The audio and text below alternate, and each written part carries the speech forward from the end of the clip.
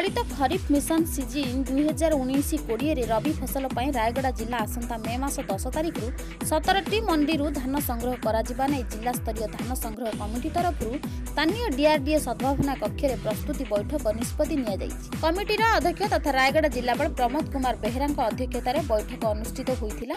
ଜିଲ୍ଲାର ବିଷମକଟକ ବ୍ଲକର ଗଜବାହାଲା ମୁନିଗୁଡ଼ାର କୁମୁଡ଼ା ବାଲି ରାମନଗୁଡ଼ାର ଗୁମୁଡ଼ା ଓ ପଦ୍ମପୁରର ଗୁଡ଼ିଆବନ୍ଧ ଚାରିଟି ନୂଆ ମଣ୍ଡି ସମେତ ସତରଟି ମଣ୍ଡିରେ ପ୍ରଥମ ପର୍ଯ୍ୟାୟରେ ବାଉନ ହଜାର ଦୁଇଶହ ଅଣଚାଳିଶ କୁଇଣ୍ଟାଲ ଧାନ ସଂଗ୍ରହ ଲକ୍ଷ୍ୟରେ ଧାର୍ଯ୍ୟ କରାଯାଇଛି ଓ ଏପ୍ରିଲ ମାସ ଅଠର ତାରିଖ ସୁଦ୍ଧା ଦୁଇ ହଜାର ଦୁଇଶହ ଏକୋଇଶ ଜଣ ଚାଷୀ ଭାଇମାନେ ନିଜ ନାମ ପଞ୍ଜୀକୃତ କରିଛନ୍ତି। ପାଇଁ ଆମର ଆସିଛି ଟାର୍ଗେଟ୍ ଏବଂ ଆମର ବାଇଶଶହ ଏକୋଇଶ ଜଣ ଚାଷୀ ଭାଇ ରେଜିଷ୍ଟ୍ରେସନ୍ କରିଛନ୍ତି।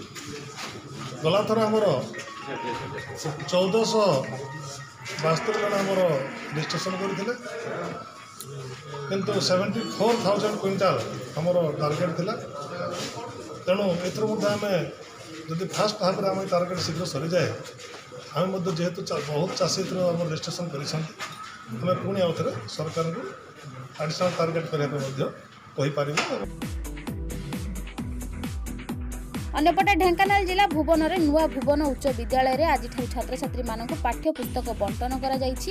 ପ୍ରଥମରୁ ଅଷ୍ଟମ ଶ୍ରେଣୀ ଛାତ୍ରୀଙ୍କ ପାଖରେ ପାଠ୍ୟ ପୁସ୍ତକ ପହଞ୍ଚିବା ନେଇ ଓଡ଼ିଶା ବିଦ୍ୟାଳୟ ଶିକ୍ଷା କାର୍ଯ୍ୟକ୍ରମ ପ୍ରାଧିକରଣ ଓ ସେ ବାର ରାଜ୍ୟ ପ୍ରକଳ୍ପ ନିର୍ଦ୍ଦେଶକ ଭୂପେନ୍ଦ୍ର ସିଂ ପୁନିଆ ସବୁ ଜିଲ୍ଲାକୁ ନିର୍ଦ୍ଦେଶ ଦେବା ପରେ ଆଜି ସକାଳ ସାତ ଘଟିକାରୁ ଭୁବନ ପାଠ୍ୟ ପୁସ୍ତକ ବଣ୍ଟନ କରାଯାଇଛି। ସ୍କୁଲର ପ୍ରଧାନ ଶିକ୍ଷକ ତତ୍ତ୍ୱାବଧାନରେ ସରକାରୀ ଶିକ୍ଷକମାନେ ସାଇକେଲରେ ବହି ଧରି ଘରକୁ ଘର ବୁଲି ପାଠ୍ୟ ପୁସ୍ତକ ବଣ୍ଟନ କରିଥିବା ବେଳେ ଛାତ୍ରଛାତ୍ରୀମାନେ ସରକାରଙ୍କ ଏଭଳି ପଦକ୍ଷେପକୁ ଧନ୍ୟବାଦ ଦେଇଛନ୍ତି। ଲକଡାଉନ ସମୟରେ ସ୍କୁଲ ବନ୍ଦ ରହିଥିବାରୁ ପାଠ ପଢ଼ିବାରେ ସମସ୍ୟା ଯେପରି ନ ହେବ ସେଥିପାଇଁ ସରକାରଙ୍କ ନିର୍ଦ୍ଦେଶକୁ ଶିକ୍ଷକମାନେ ସ୍ୱାଗତ କରିବା ସହିତ ସାମାଜିକ ଦୂରତା ମାସ୍କ ଓ ଗ୍ଲୋଭ୍ସ ପିନ୍ଧି ସୁଚାରୁ ରୂପେ ଦାୟିତ୍ୱ ବହନ କରିଛନ୍ତି। ରାୟଗଡ଼ାରୁ ଶିବନାରାୟଣଙ୍କ ସହ ଭୁବନରୁ ଅରୁଣ କୁମାର ସାହୁଙ୍କ ରିପୋର୍ଟ କାମିୟାବ ଟିଭି।